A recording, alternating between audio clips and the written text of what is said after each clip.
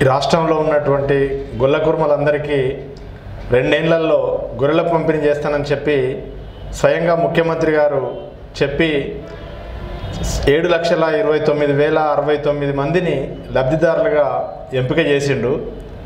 ఇప్పటికీ మూడేళ్ళు పూర్తయింది. ఈ మూడేళ్ళలో ఇప్పటి వరకు కేవలం మూడు లక్షల అరవై ఆరు వేల మందికి మాత్రమే గొర్రెల పంపిణీ చేయడం జరిగింది.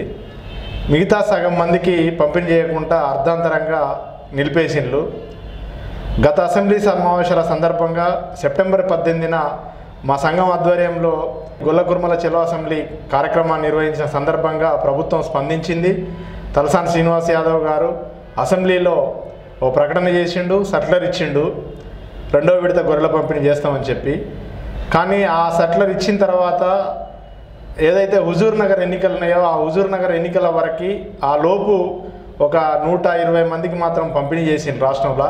ఆ హుజూర్నగర్ ఎన్నికలు అయిపోగానే మళ్ళీ ఈ పథకాన్ని నిలిపివేసినటువంటి పరిస్థితి ఉంది. ఇప్పటికీ గొర్రెలు వస్తాయనే ఆశతోటి రాష్ట్ర వ్యాప్తంగా సుమారు ఇరవై ఎనిమిది వేల మంది గొల్ల కుర్మలు ఒక్కొక్కరు ముప్పై ఒక్క వెయ్యి రెండు వందల యాభై రూపాయల చొప్పున ప్రభుత్వ ఖజానాల్లోకి డీడీలు తీసి వాళ్ళు పద్దెనిమిది నెలలుగా వేచి చూస్తూ ఉన్నారు వాళ్ళకి వడ్డీలు తెచ్చి వడ్డీలు పెరిగిపోతూ ఉన్నాయి. భార్య మీద పుస్తలతాళ్ళు కుదవబెట్టి తెచ్చినటువంటి వాళ్ళు కూడా ఉన్నారు. చాలా పేదవాళ్ళు ఉన్నారు. వీళ్ళ బాధని ఏ ఈ ప్రభుత్వం అధికారులు ఎవరు పట్టించుకోవట్లేదు. కనీసం ఎప్పుడు ఇస్తారనే క్లారిటీ కూడా ప్రభుత్వ అధికారులు కానీ మంత్రి కానీ ఎవరు కూడా ఇవ్వడం లేదు. ఇప్పటికీ మేము మా సంఘం ఆధ్వర్యంలో అనేక రూపాలుగా అధికారులకి కింది నుంచి పై అధికారుల వరకు మంత్రి వరకు అనేక రూపాలలో వాళ్ళ దృష్టికి తీసుకెళ్ళినాం. అయినా ఏ ప్రయోజనం లేదు.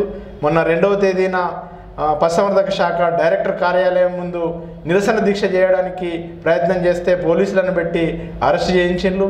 కాబట్టి ఈ ఉద్యమాన్ని మరింత ఉధృతం చేయాలనే ఉద్దేశంతో ఈ నెల పదహారవ తేదీన రాష్ట్ర వ్యాప్తంగా గొర్రెలతోటి రోడ్ల బంద్ కార్యక్రమాన్ని నిర్వహిస్తూ ఉన్నాం.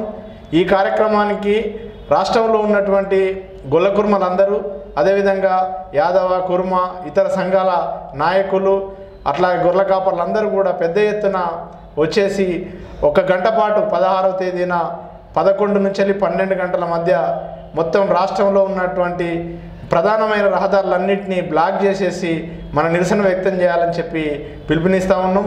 ప్రభుత్వం అప్పటికీ కూడా స్పందించకపోతే రాష్ట్ర వ్యాప్తంగా పెద్ద ఉద్యమాన్ని లేవనెత్తుతాం సామూహికంగా ఈ ఇరవై ఎనిమిది వేల మందితోటి ప్రభుత్వం మీద కేసులు వేయాలనే ప్రయత్నం కూడా చేస్తూ ఉన్నాం.